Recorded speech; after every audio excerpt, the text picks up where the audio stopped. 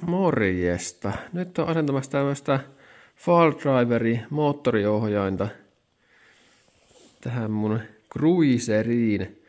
Eli nyt tänään olisi sellainen operaatio kuin pole burst selvittäminen, eli napaparien selvitys tästä mun napamoottorista.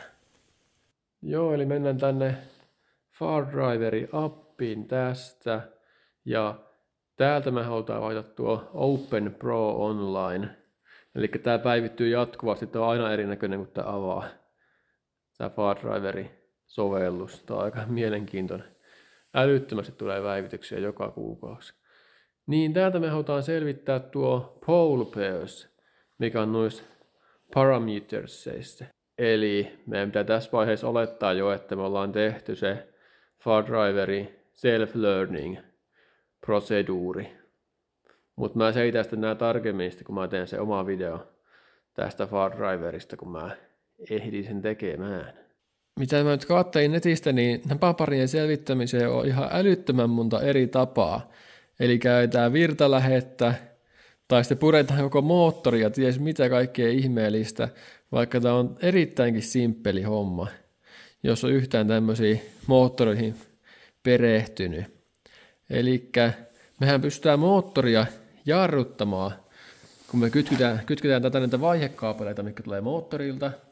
Eli täällä tulee kolme, kolme vaihekaapelia, tämmöistä vähän paksumpaa täältä moottorilta, ja näitä voi oikosulkea, eli kytkeä yhteen. Täällä tosiaan on vähän paksummat nämä kaapelit, koska tämä on 4000 watin moottori, vähän isompi.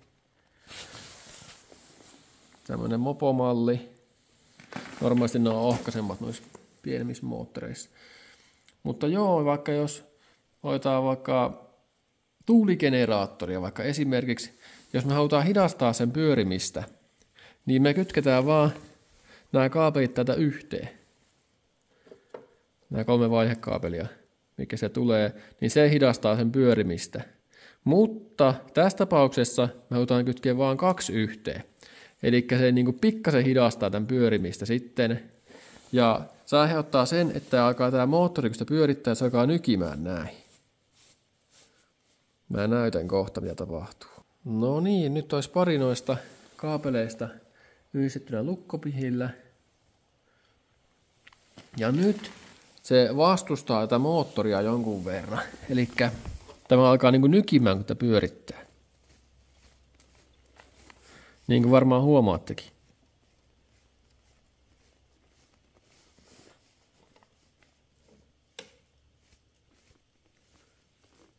Ja aina kun se noin pysähtyy, niin se on aina yksi napa. Me voidaan tosta vaan laskea nuo noin helpostikin. Ja sitten jos me kytkettäisiin nämä kolme yhteen, kaikki, niin silloin tämä pyöriminen hidastuu huomattavasti. Eli se, niin kuin, vastustaa tämän pyörimistä. Nyt mulla on kaikki täällä yhdessä, niin tämä pyörii tosi huonosti tämä moottori nyt. Ja sen takia pitää olla kaksi vaan näistä kytkettynä yhteen, niin tämä pyörii jollakin lailla. No joo, mä pistin tuonne teipin pala, mistä mä vähän katsoa tuo meidän aloituskohta. Sitten lähdetään vaan laskemaan täältä. Eli yksi, kaksi, kolme, neljä, viisi, kuusi, seitsemän, kahdeksan, yhdeksän, kymmenen, yksitoista, kaksitoista, kolmetoista, neljätoista, viisitoista, kuusitoista, seitsemäntoista, 18, 19, 20, 21, 22, 23, 24, 25, 26, 27, 28, 29, 30, 31, 32, 33, 34, 35, 36, 37, 38, 39, 40, 41, 42, 43, 44, 45, 46, 47, 48, 49, 50, 51, 52. 52. Eikä tämä ole sillä nyt selvietty tämä homma. Joo, eli meillä oli nyt tuolla 52 napaa, mutta napaa paria, niin meidän pitää jakaa se kahdella. Eli 52 jaettuna kahdella, se on 26. Eli meidän pitää sinne FarDriveri appiin pistää 26 napapareiksi. No joo, mennään taas tänne FarDriveriin. Ja täältä me halutaan säätää nyt. Onko tämä yhdistetty? Tämä on tuolta. Ja se yhdisti suoraan sen jo. Eli tuota, mennään tänne paras. Ja täältä mennään tonne Open Pro NPLE. Ja täällä on tää Bears taas. Niin tuota, täällä on nyt nämä vaihtoehdot. Eli isoin mahdollinen näköjään on 4, 6 ja pieni on 3. Eli se 5, 2 jaettuna kahdella, niin sehän on 2, 6.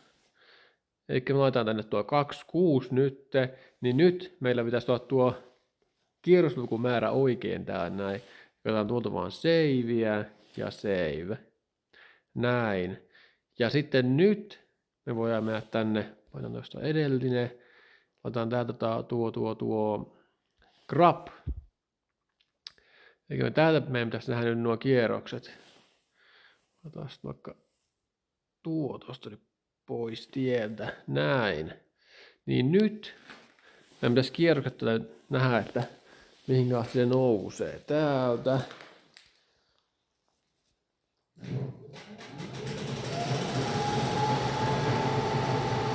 Noin tuhat, tuhanteen kierrokseen nyt. Ja tuo pitäisi olla ihan oikein, mutta mehän voidaan tää varmistaa nyt vielä. Eli mun tää, tää nopeusmittari. Kato, tää näyttää, tää on nyt väärinpäin vaan, mutta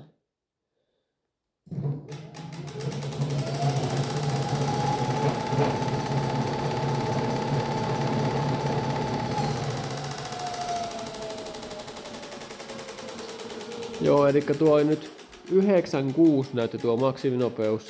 Ja tuo näyttää nyt pikkasen liikaa. Eli tuo meni oikeasti jotain plus miinus 90 ehkä. Ja tuota, mehän voidaan nyt varmistaa tuo, että onko tuo meidän kierrosluku nyt oikein.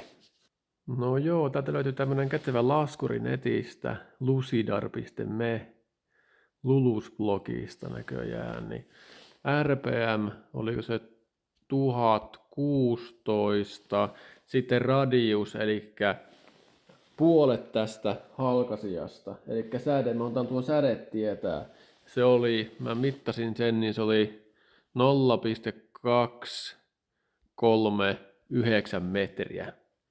Eli me saatiin nopeudeksi tosta sitten 91 ja puoli tunnissa noin suurin piirtein. Ja tämä näytti 96 ja tuo näyttää vähän ylimääräistä tuo noin. Eli mä veikkaan, että tuo ihan oikein nyt tuo meidän tota, RPM, eli kierrosluku lukema tuossa noin, tuolla Far Driverissa. Ja se nyt sitten auttaa meitä noissa jatkotoimenpiteissä, kun meillä on se kierrosluku tuolla oikein. Nyt mainitsin vielä, että mullahan tässä oli 6 amperin laturi aikaisemmin käytössä tällä, mutta mä hommasin syksyllä vielä tämmöisen vähän järeemmä 20 amperin laturi. Eli jos joku haluaa vielä vähän järeempää laturia, niin mä voin pistää tästä linkin tonne video alle descriptioniin. On tosi hyvä ollut tämä kyllä. Ja on muuten nopea. No joo, siinä nyt oli tämä napaparien selvittäminen tästä 4000 wattin moottorista. Toivottavasti oli hyötyä jollekin. Jatketaan tämän paris, kun lumet sulaa, niin päästään tuonne ajelemaan taas. Jees, morjens.